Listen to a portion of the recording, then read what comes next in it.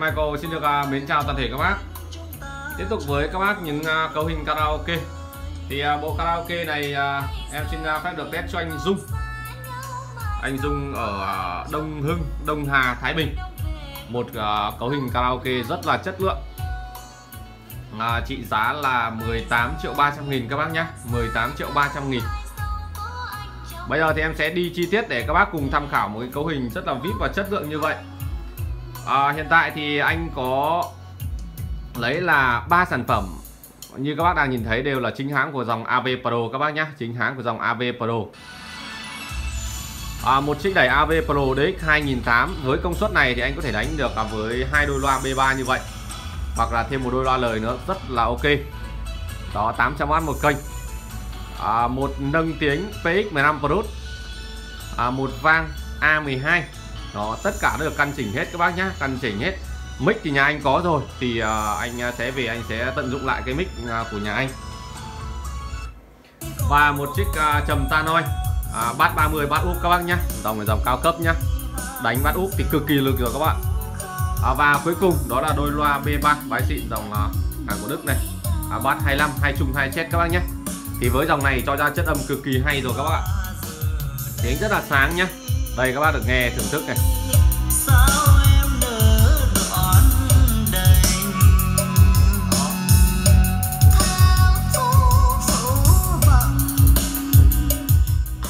Với dòng B3 thì à, có hỗ trợ lời cho nên là các bác nghe nhạc hát karaoke thì đều phê hết các bác nhé.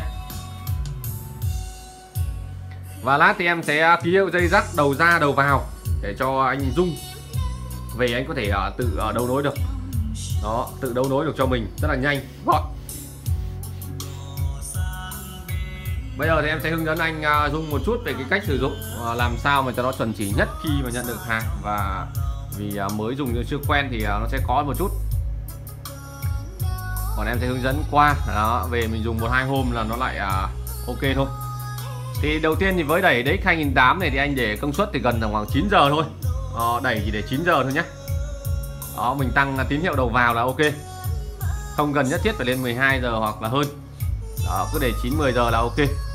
Đó. Và tiếp theo đó về nâng tiếng thì ở đây thì sẽ có hai vế vế phải và vế trái. Thì anh để ý một chút thì à, vế phải chỉnh như nào thì vế trái như vậy. Ở đây là giải bát này low mid này là bát này Tun và Pro Show này thì dòng này là hai cổng này là hai cổng trộn thì để 12 giờ này. Hai cái này là trộn để 12 giờ còn là cái này là chép nếu mà hát thì có thể tăng chép. Ok nhiều một chút. Còn nếu mà khi mình hát thì mình sẽ giảm chép một chút. Nó giảm chép một chút. Đó. Và tất cả các cái nút đây thì uh, chế độ của nó thì anh cứ bấm vào hết cho em. Ở đây thì sẽ có cổng súp nhá vì đang sử dụng súp tanoi cho nên là mình sẽ à, chỉnh ở đây thì uh, tùy theo giải mình cắt. Bình thường nó sẽ rơi ra động vào tầm khoảng uh, cái giải cắt này thì khoảng tầm 11 giờ. Và giải súp thì tùy mình nghe. Cứ để tầm khoảng à, 11 giờ hoặc 12 giờ mình tăng nó sẽ lên theo đó các bác nghe súp cực kỳ lực nhá.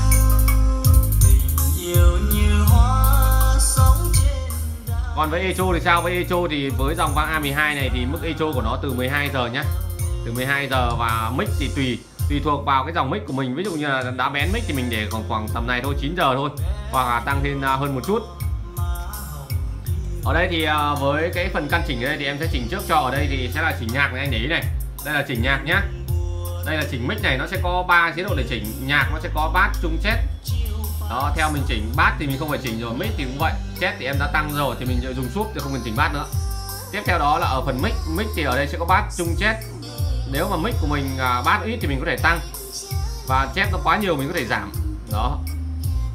Ở đây là về phần chỉnh delay repeat. Bass trung chết của Echo. Đó của Echo thì à, à, với dòng à, vang này thì anh chỉnh à, delay và repeat đến mức khoảng tầm à, 1 hoặc 2 giờ nhá. Thì cái độ Echo nó mới lên nhiều. Thì em sẽ chỉnh trước cho rồi. Đó em sẽ bảo qua như vậy thôi. Ở đây sẽ là một cái nút chống hú này. Đó. Ở đây thì anh sẽ nhìn thấy ở bên tay phải đây thì nó sẽ có một cái nút input. Input này có nghĩa là sẽ chỉnh các cái nút ở đây. Ví dụ như là anh chân input thì nó đang cổng AUX1 em đang chạy này. AUX2 này optical này. Đó, BT là bluetooth này USB này. Anh sẽ ấn như này nhá có nghĩa là chọn kênh đầu vào. Đó chọn kênh đầu vào kênh 2 này kênh bờ uh, kênh cổng quang này. Tiếp theo đó là kênh à, bluetooth này. Tiếp theo đó là kênh à, USB và quay trở lại đó là kênh AUX1 đó nó sẽ có nhạc tiếp.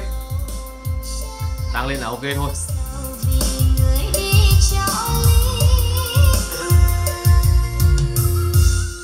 Đó rất là đơn giản nhá. Đó, anh nhớ xem uh, kỹ cho uh, giúp em cái video tí thì lát em sẽ ký hiệu ở đây là đầu ra, đầu vào thì anh chỉ cắm từ trên xuống dưới. Và cổng súp, những cái cổng này thì em sẽ lấy cái à, núm này em sẽ bịt vào hết này. Về mình đỡ phải cắm nhầm. Đây là dây đầu vào rồi này, nhạc vào này. Và đây loa thì anh xếp bình thường giúp em. Đó, mình để ở đằng sau kệ thì mình không rút ra nhiều thì anh cứ trực tiếp xếp vào đây. Và dây loa cũng vậy. Vào đây là dây súp. Là em sẽ cho anh cái dây súp dài hơn để về mình cắm thoải mái kéo nhé.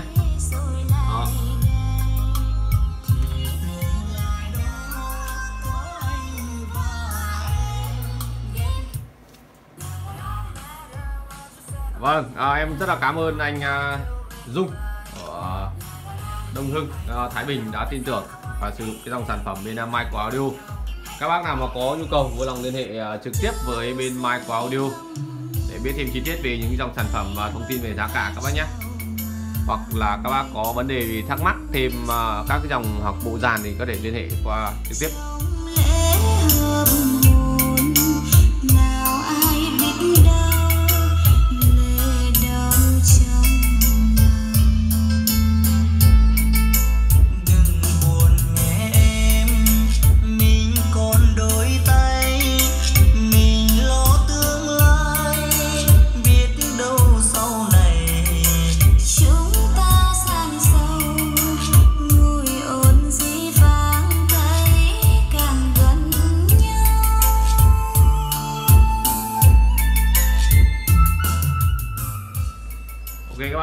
Xin chào tất cả các bác.